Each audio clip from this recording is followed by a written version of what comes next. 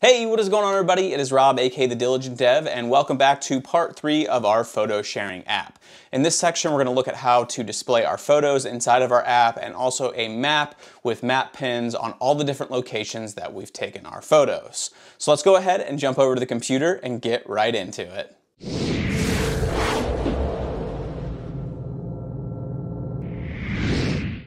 Okay, so here we are over the computer. I have our project all loaded up in Visual Studio Code, and I have our emulator running, which I went down to the terminal and ran Ionic Serve to get that up and running. Now, the way I envision our app working is that our second tab will display all the photos that we've taken, and the third tab will display a map with map pins of all the locations that we've taken those photos. So what I want to do right now is change these icons and tab names so they reflect a more accurate description. So what we're going to do is we're going to go to SRC, Views, and we're going to go to Tabs. Now in here, if we scroll down a little bit, we see this is where our icons are being imported. And instead of the ellipse and the square, what we're going to do is import images and map. Then we're going to come down to our setup method and we need to return these to the template so that it can use them. So we'll do images and map. Then we will come up here and for the icon on the second tab, we're going to do our images and we will name this tab images.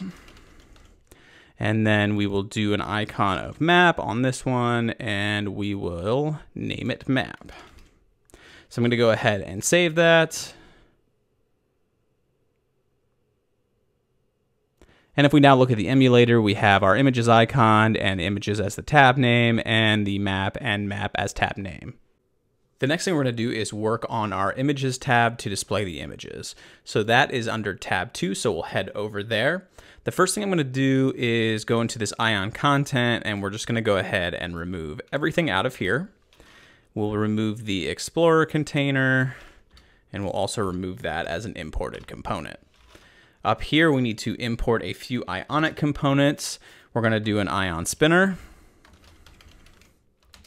ion label, ion card, and ion image. And then we'll go ahead and take all these and not lie on. Ion card. We will take these newly imported and we'll copy them and we'll go ahead and just register them as components. I'm gonna hit Alt Shift F to format everything so we can see it a little bit better here. Next to the top, we're going to import a couple things we'll need from Vue. We're going to import reactive and toRefs from Vue. And then we're also going to import db and auth from our main.js or main.ts. Then down in our export default, create our setup method. The first thing we're going to do is set up our state. So we'll say const state equals reactive and we'll pass in an object. And in here, we'll say photos We'll make it an array as string array. And then we'll also do loading and we'll set that to false. Underneath our state, we'll create our method to fetch our photos. So we'll say const fetch photos equals async. Let me scroll down so we can see this a little bit better. The first thing we're to do is set our state.loading equal to true because we want to display a loader when we're going and fetching photos. Then we're going to grab the user. So we'll say const user equals auth dot current user.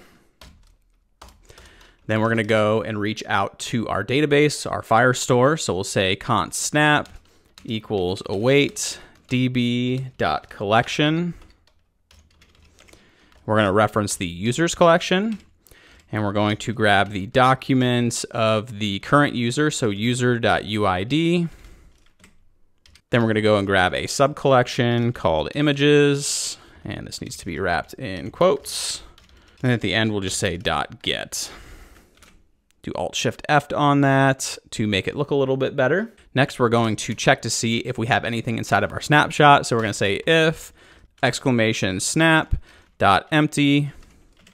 So check to see that our snapshot is not empty. We're going to say snap dot docs dot for each.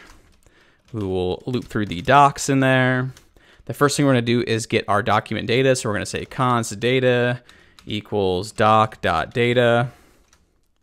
And then we're going to say if data dot image state dot photos dot push data dot image. And then down at the bottom of this method, we will just set state.loading back to false. The last thing we need to do right outside of this method is call our fetch photos so that it fires on the page load. So we'll say fetch photos. And then we're going to return to the template our photos.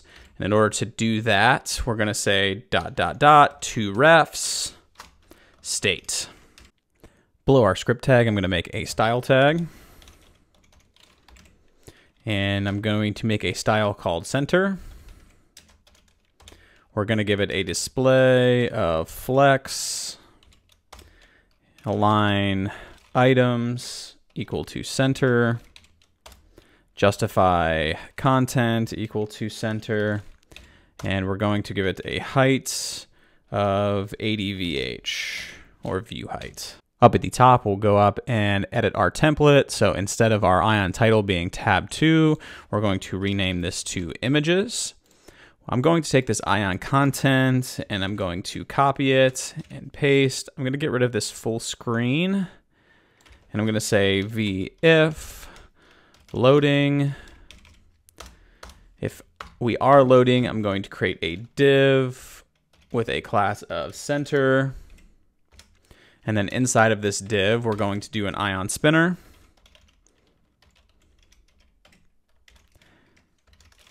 And I'm going to give this a color of primary. Down on the next ion content, we'll do a v-else. And this is where we'll display our images. So in here, I'm going to say div. We're going to do a v-if on this. And we're going to check that photos dot length is greater than zero. And if it is, we're going to do an ion card. And on this ion card, we're going to do a v-for because we're going to display images on these cards. So I'm going to say v-for photo and index in photos, I'm going to give it a key equal to index. And then inside of the card, I'm going to do an ion image. And we're going to set the source equal to photo. Down below this div right here, we're going to do another div with the style of center. We'll do a v-else on this. And if there are no photos, we're just going to do an ion label. And inside of the ion label, we're just going to say there are no photos to display. I'm just going to go ahead and save everything. It doesn't look like we're getting any errors, so I'm going to go ahead and click on our images tab our loader displayed, and now you can see all of our images. They're in our card, so they have nice rounded corners, and it would allow our users to scroll through our images. And now that we have our images displaying inside of the app, let's go ahead and focus on the map tab where we're going to display a map. It's going to be a Google map and we're going to display pins of every place that we've taken a photo. Now, in order to use Google Maps, you're going to need a Google Maps API key. And I'm not going to walk you through exactly how to do this, but I'm going to leave a link in the description with instructions on how to get a Google Maps API key.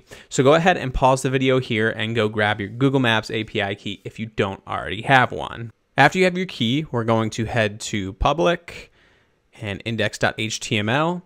And Google Maps will give you a script that you're going to want to copy and paste into here right before this closing head tag. Just go ahead and paste that in. It is our Google Maps script tag, and you're gonna wanna replace this with your API key.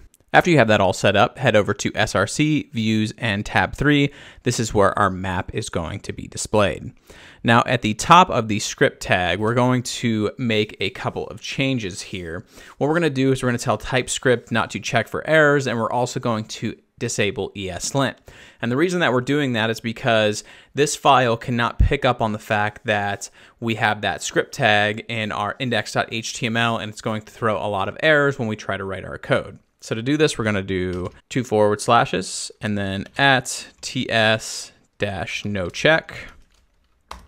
And then we're going to do a forward slash and an asterisk and say ESLint dash disable. And we'll do another asterisk and another forward slash. Next, we're going to import ref and on mounted from Vue. And we're also going to import our DB and auth from our main.ts file. Next, we'll come down into our export default and we'll create our setup method. We're going to say const map ref equals ref null. And what this will do is it'll reference a div inside of our template tag with the ref of map. Next, we'll create a method. We'll say const add map. This will be an async method. Next, we'll create our initial latitude and longitude. So we're going to say const lat long equals new google.maps.lat lng. And I'm just going to copy and paste in some numbers here. And essentially what these are is it's going to center our map in the United States. And as always, you can find a Bitbucket repo attached to this where you can find all of this code. Next, we're going to scroll down a little bit and we're going to add our map options. So I'm going to say const map options equals, this is going to be an object. We're going to say center equal to our lat long that we specified above. Zoom is going to be 3. And map type ID is going to equal google.maps.map type ID and roadmap. Then below this, we're going to say let map equal new google.maps.map. And we're going to pass in the mapref.value and our map options. Next, we're going to go ahead and get all of our pins. So in order to do that, we're going to grab the user, and that will be auth.currentUser. Then we're going to go grab a snapshot from our database. So we'll say const snap equals await db dot collection. We're going to reference the users collection dot documents, and we're going to go with the user dot uid. And then we're going to grab a subcollection off of user called images.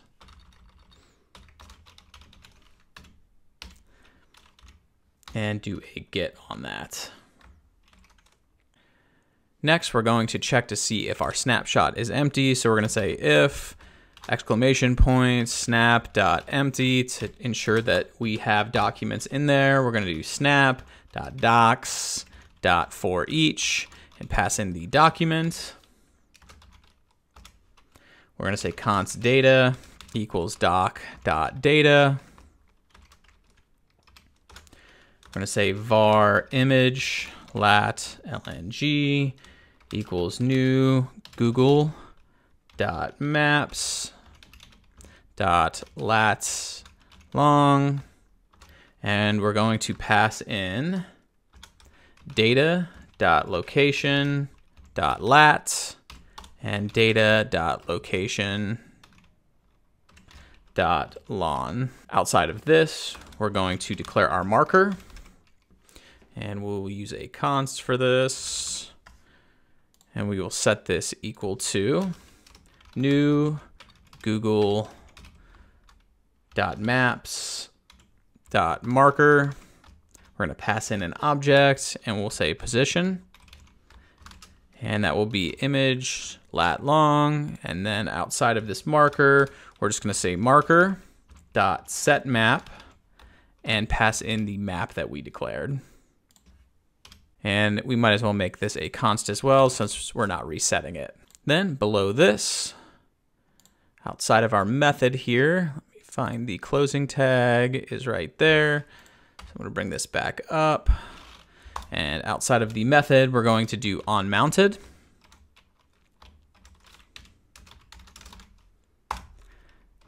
And as soon as we are mounted, we're going to add the map because we're going to want to make sure that our div that we're going to be injecting the map is into is mounted onto the screen. And then below this, we're just going to return map ref. Hit Alt Shift F to format everything. Below our script tag, I'm going to set a style.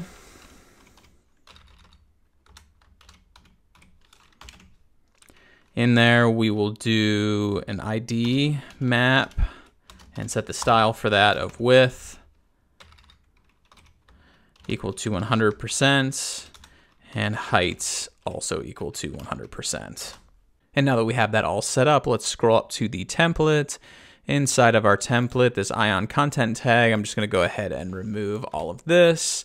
We will remove the Explorer container, and we're also going to remove it from our registered components.